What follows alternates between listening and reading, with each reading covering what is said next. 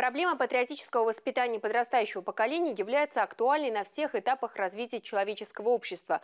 В настоящее время в связи с кардинальными преобразованиями во всех сферах нашей жизни это приобретает особое значение.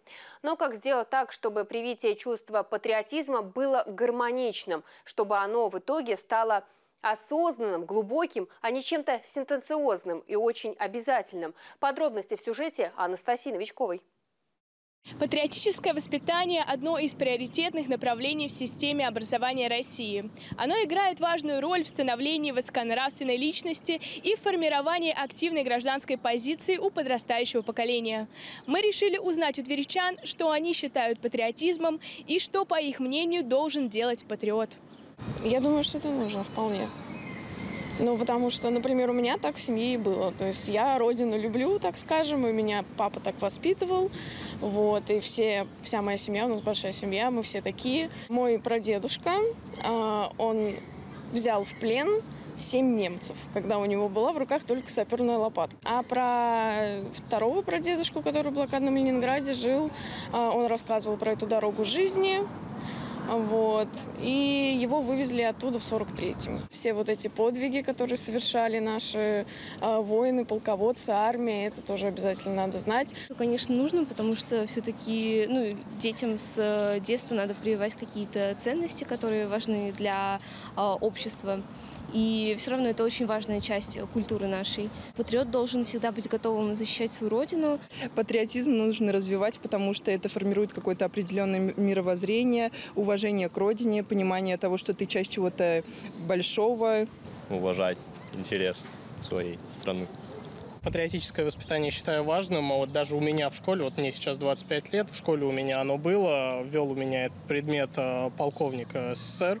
А, приходил к нам в школу, рассказывал э, про войну, про то, насколько важно помнить э, про то, что они отдали жизнь за нас, чтобы у нас было светлое, хорошее будущее. Чтобы больше любить свою родину, любить свою страну.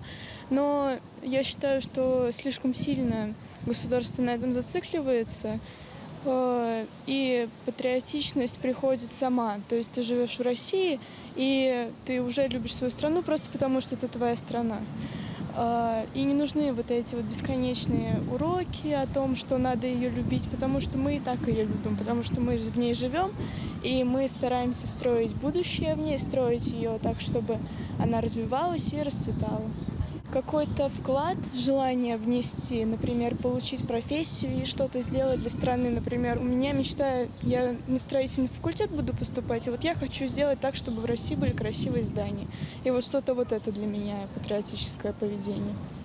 Большинство опрошенных тверичан считают, что патриот – это человек, любящий свою родину, преданный своему отечеству, своему народу, стремящийся своим трудом принести пользу. На патриотическое воспитание молодежи направлена целая система специальных мероприятий. Их главная цель – заложить правильные ценности, привить любовь к своей родине и культуре и вырастить достойное поколение граждан своей страны. Но при этом необходимо помнить, что все эти мероприятия призваны не просто доносить до молодежи богатую историю и культуру нашей страны, но и находить находить правильный подход, чтобы молодые люди сами определяли для себя, почему они любят свою родину и что хотят сделать во благо своей страны. В этом процессе очень важна вовлеченность молодежи в важные и полезные проекты патриотической направленности. Поисковые движения, волонтерские отряды, помогающие ветеранам и юноармейские организации. И лишь тогда патриотизм станет истинным, тем, который рождается в самой глубине нашей души и становится неотъемлемой частью сознания гражданина России.